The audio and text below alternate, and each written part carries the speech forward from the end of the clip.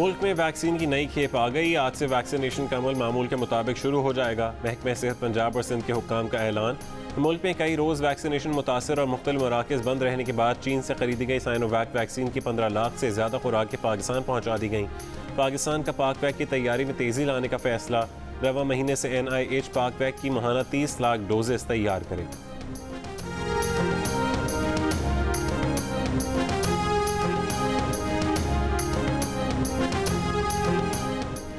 Karachi super highway पर अली गोट के करीब जाली पुलिस मुकाबले में दो अफराद जख्मी अस्पताल मुंतकिल। पुलिस एहलकारों ने दावा किया कि मुलजमान ने रोकने पर असलाह दिखाया, जिस पर फायरिंग की। अहल खाना की तरदीद, कहा दोनों दर्जी हैं पुलिस इंक्वायरी में मुकाबला जाली निकला। तर्जुमान पुलिस के मुताबिक फायरिंग में मुलविस पुलिस एहलकारों को गिरफ़्तार कर लिया गया, मुकदमा दर्ज।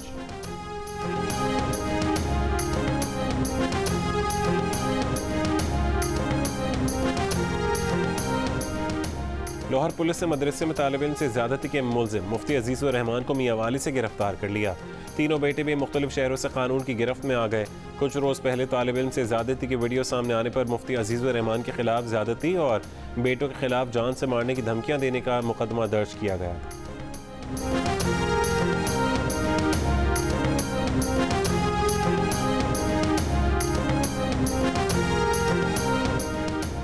लाहौर समेत पंजाब के मुख्तलिफ़ शहरों में कहीं तेज़ आंधी और कहीं मूसलाधार बारिश, छतें, दीवारें और दरख्त गिरने से दस साल बच्चे समेत तीन अफराज जहाँ बहक और पंद्रह जख्मी। फैसलाबाद में तेज़ आंधी के साथ बारिश, झंग और गिरदनवा में तेज़ आंधी के बाद बारिश से नशीबी इलाकों में पानी जमा। कमालिया में तेज़ आंधी से शाहराहों पर लगे साइन बोर्ड गिर गए।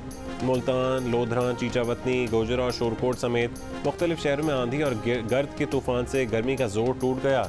मुख्तलिफ़ शहरों में बिजली की फरहमी मौत।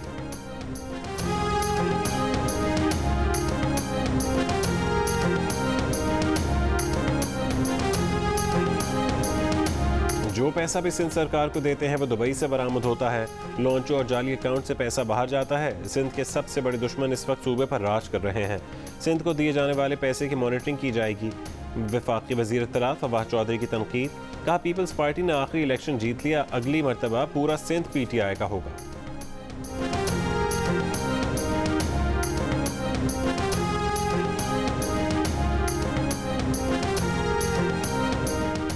कम अकलों को इल्म नहीं कि हर साल ऑडिटर जनरल पाकिस्तान फंड्स का ऑडिट करता है।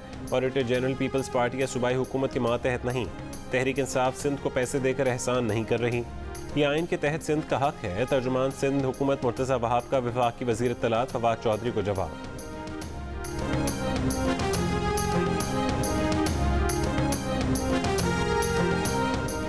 रहनुमा मुस्लिम लीग नून राना सनाउल्ला ने कहा है कि हुकूमत आर्टिकल बासठ तिरसठ में तरमीम एक खास शख्स को फ़ायदा पहुँचाने के लिए कर रही है। उन्होंने फैसल वावड़ा का नाम लेकर इल्ज़ाम लगाया कि इस तरमीम का इतलाक दो हज़ार सत्रह से किया गया, जिससे फैसल वावड़ा बच बच जाएँगे। प्रोग्राम नया पाकिस्तान में गुफ्तु करते हुए वज़ीर ममलिकत फ़रोख हबीब ने कहा कि ये तरमीम फैसल वाड़ा के लिए नहीं की जा रही। इस्लाम, इस्लामाबाद हाई कोर्ट उनका केस इलेक्शन कमीशन को भिजवा चुकी है।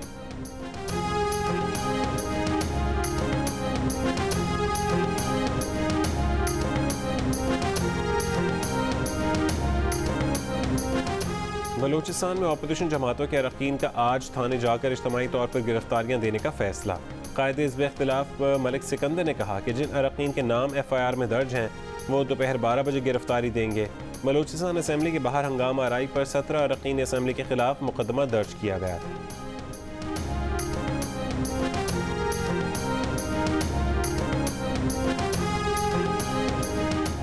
H P L P S L six के क्वालिफायर मैच में इस्लामाबाद यूनाइटेड और मुल्तान सुल्तान का मुकाबला होगा। मैच की फातह टीम फाइनल में जाएगी। एलिमिनेटर मैच में पिशावर जलमी और कराची किंग्स टकराएँगी। इस मैच में हारने वाली टीम इवेंट से बाहर हो जाएगी। जीतने वाली टीम क्वालिफायर मैच में हारने वाली टीम से खेलेगी।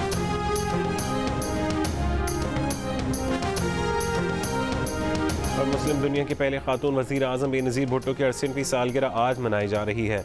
कराची समेत मुख्तलिफ़ शहरों में बेनज़ीर भुट्टो की सालगिरह की तकरीबा वज़ीर अला सिंध मुराद अली शाह ने कहा कि मोहतरमा बेनज़ीर भुट्टो ने जान का नजराना पेश करके मुल्क में जमहूरियत बहाल कराई।